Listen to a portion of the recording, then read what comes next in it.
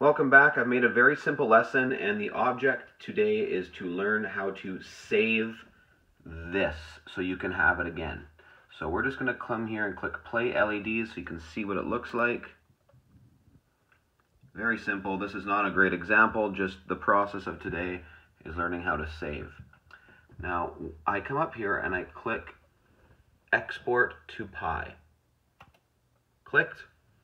Now this is now saved when we go back to,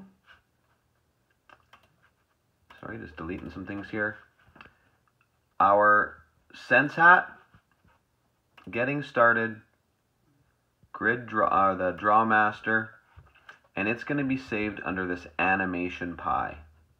So if I double click this, it's going to open up in Thonny.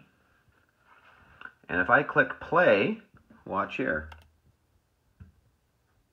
it replays it for me. Now, anytime you rewrite this, it will copy whoever else's. So what we need to do, it'll overwrite. So I'm going to right click, copy, delete, student projects, right click, paste, I'm going to right click, rename, and then just put your name at the front.